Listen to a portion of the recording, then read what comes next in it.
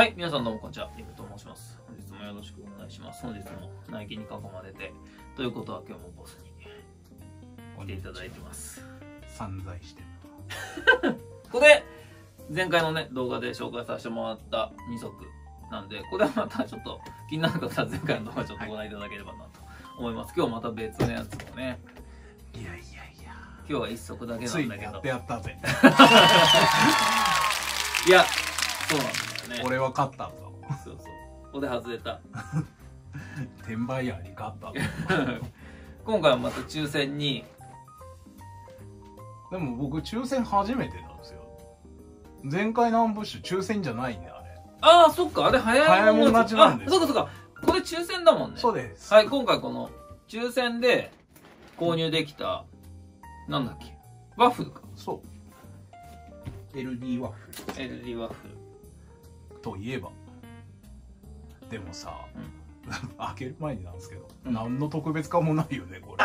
くそどうしてだよってがっ 正直な感想言ってすっげえがっかりしたんですけル。ど。ああ、ものの感じが？はい。いやいやその中身は別ですよ、うん。箱とかの特別感なんもなくないっす。ああ、そういうこと？だってさ、ん。このまあね。フラッグメントとうん。のトリプルのやつもそうだし、ダンクうん。も、あ、じゃあね、ジョーダンの。うん。その前のオフホワイトとか、まあ他のうんうんうん。やつ結構出てますけどうんうん、みんな箱凝ってるんですよ。ああ、そうなんだ。そう、まあまあ、ワッフルだからなのかなそうだね。とまあ、結ど構クラシックな雰囲気そのままうんだよね、雰囲気的にはで。さあ、何にも、フラッグメントも、まあ確かトリプルのそのコラボのあれもないでしょ？に。ない。何にも。びっくりしちゃった。俺間違ってきたんじゃねえかと思いました。使い回しやね。いや、本当にね。そこだけかな、今回すげえ来て、あれ？ってすげえ届いた瞬間に残念に思ったの。なるほどね。で、ちょっと中見ていきます？はい。そうなんだよ、これそさ。もう一個さ、残念なの。それ見てもらえばわかる これ僕が破いたんじゃないんですよ。もともとこの状態ですからあね。あなるほどね。雑なやつが入れたってことだな。ひどいよな、出てこんの出てくる。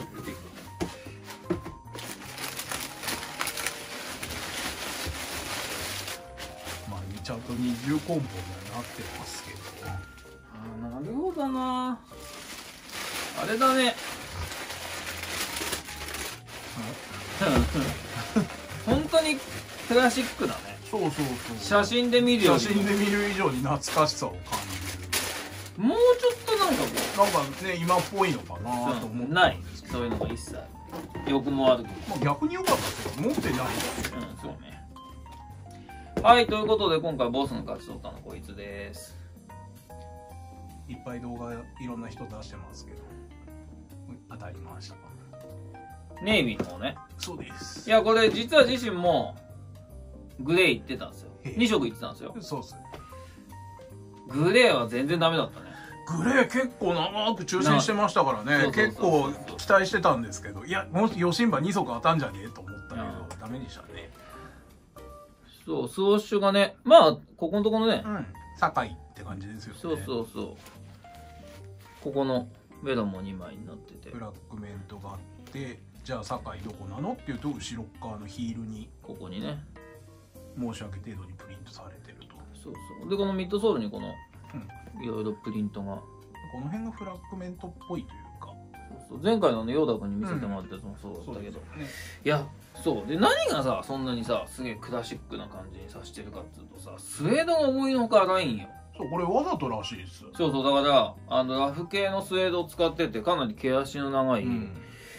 スウェードなんで、やっぱりその辺が余計にこうクラシックな表情にさせてるなっていう印象、このメッシュもさやっぱりしい感じ。そうそう荒い感じ。本当に古いタイプの、で写真であ映像でわかるな。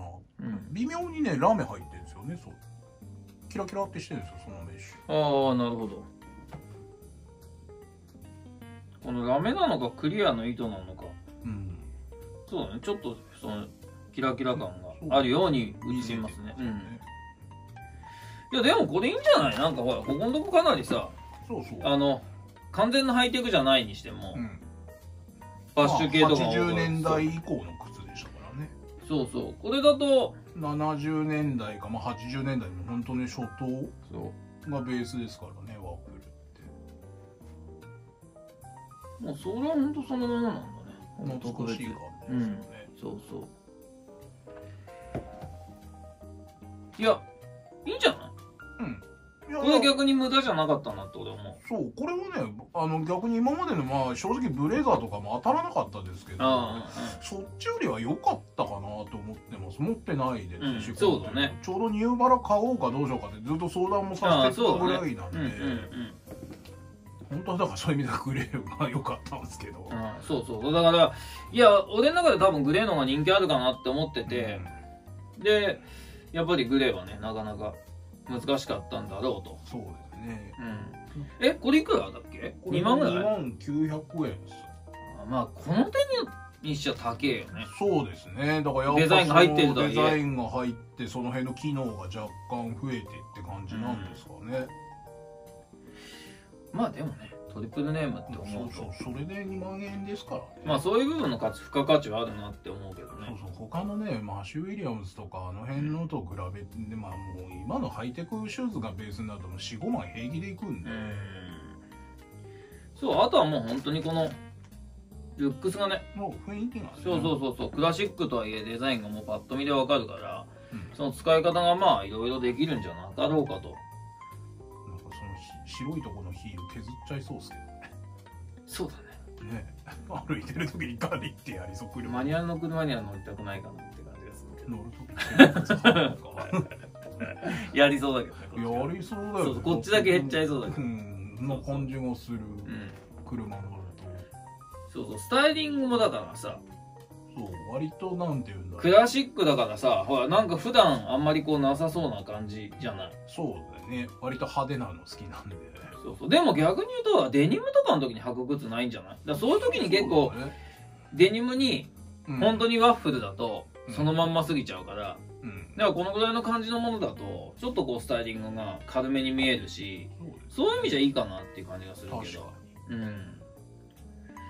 今までのあの GU 君たちが無駄にうん GU ユニクロ君たちが無駄にならない。そうだね。あそうか。でもこあそうそう。これシューレースがこれは白がついてんのね。うん。言わせた。これ2本だもんねシューレースね。そうなんだよね。だからワンチャンこれをだから白と紺に変えたりってことでしょ？多分そのために2本ついてるんだよね、まあこれは白紺とかにしても可愛いかもねね、うん。でもめっちゃゃ色映るけどね。知ってる。そもそもデニム履いた時点でダメだしね。ね。でもまあそうそうそう。せっかく2本あるからそれでもいいかもしんない、めんどくせえ。うん。でもちょっと派手になりすぎるかな。このぐらい地味な方がいいかもよ。でも。うんあえて。そうそうそう。そこから見えるフェイスが白のその真っ白白が入るとどうなんだろうっていう。そうそう。まあやってみてかなっていう。うん。そうねそう。でもそうこれに関してはそのさっき言ったの例えばユニクロのデニムでもうん。何でもいいんだけどちょっと綺麗めに履くデニムの靴としてもいいと思うし逆に古着アメカジの外しとしても結構いいかなとも思うし。そうだよね。今日のリムさんの格好にそのまま履いてもらってもいい感そうそうじだよね。そうななんかそういう使い方もできるかなって思うと。またちょっとね。まあそれはねミリタリー調に合いそうな感じもする。ボリュームはあるからそうそう。太いパンツにも合いそうな。そうそう。普通ローカットのこのランニング系ってボリュームないから、なかなかねシュッとしシュッとしちゃってあれなんだけどやっぱりここ出っ張ってる分全体的なボリューム感はあるんで、うん。そういうメリットはあるかな。でも当然ほらそうもう暑いし。うん。そうそう。なんかそんな感じで、まあ、購入できた人は、ぜひあのプレネでは購入しないようにしてもいや 絶対ダメまあ当選した人たちが、まあ今回でも即数あったみたいね。まあまあね。あの一応定かじゃないかもしれないんですけど、うん一応その紺で6万足、うん。でグレーの方で5万足だから若干やっぱグレーの方が少なめじゃないかっていう情報が結構出回ってるのでああ、なるほど。で世に出回ってる情報としてはそのぐらいじゃないかと。全全世界で一応それぐらいだよっていう、なるほどね。まあまあの即数あるもんね。そうですね、うん。今までの限定ものの中ではかなり多い方じゃないですか、まあ実用品の人履くのがいいんじゃない、うん。やっぱね。全然僕の中では靴は履くもんだと思ってる。そうだね。取っといてどうこうの話じゃないから。ラップして取っとくなんてこんなふざけたことは絶対しないので。そうだね。履いてなんぼで履いてなんぼ。履かねえ靴いらないんで。そう。だね確かに。いやまあとりあえず今回じゃあその抽選での当選だもんね。そう初めて。